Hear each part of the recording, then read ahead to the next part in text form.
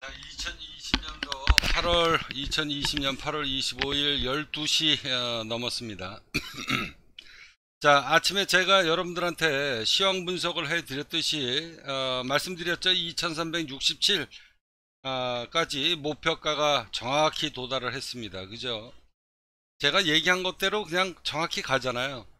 자, 올라오면 때려 맞고 밀리고, 올라오면 때려 맞고 밀려도 오늘은 어차피 올라가는 장이다. 그러니까 여러분들은 매수, 조정이 오면 이렇게 막 올라갈 때 쫓아붙지 말고 기다렸다가, 기다렸다가 매수로 대응 들어가라. 그래야 돈을 번다 라고 제가 말씀드렸죠. 올라가면 때려맞고 밀리고 또 정고점 돌파하면 또 때려맞고 밀리고 정고점 여기 돌파 뭐 몇 틱 올라가니까 또 때려맞고 밀리고 여기 돌파하고 또 몇 틱 올라가고 나니까 또 때려맞고 밀리고 자 그러면서 지점 정고점 돌파하면서 이제 마지막에 시세가 제가 얘기했던 것대로 2367 포인트가 정확하게 찍었습니다 제가 아침장에 여러분들한테 미리 예측 드렸잖아요 오늘은 무조건 여기까지 올라갈 것이다. 어제장에 제가 여러분들한테 뭐라고 얘기했습니까? 내일은 무조건 올라가야 된다. 시황 분석을 하면서 자그마치 6번, 7번을 무조건 올라가야 된다라고 제가 얘기했잖아요. 이게 제가 뭐 아무 근거 없이 이런 얘기 하겠습니까? 무조건이라는 표현을. 이게 돈 버는 비결이에요. 주가가 어떻게 움직일 거다라는 거를 아침장 시작할 때 여러분들한테 다 말씀드렸잖아. 그리고 제 얘기대로 올라가는 거 지금 눈으로 보셨죠? 목표가 2367 치는 거 보셨죠? 이제 2368을 한번 찍을지 몰라요. 조금 있다가.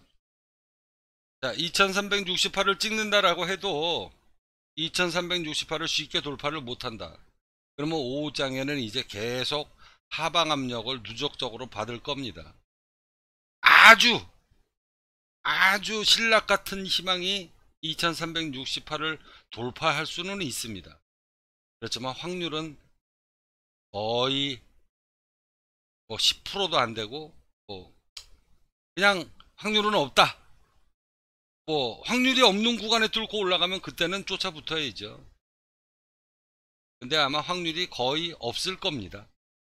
더 이상 못 올라갈 거예요. 제가 예측한 것대로.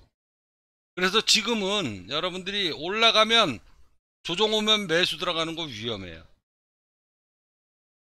정말로 뚫고 올라가면 그거는 뭐 아주 확률이 없는 게임에 성공을 한 거기 때문에 뭐 큰 돈을 벌겠지만 확률은 적다라고 생각하시면 됩니다. 쉽게 돌파 못합니다.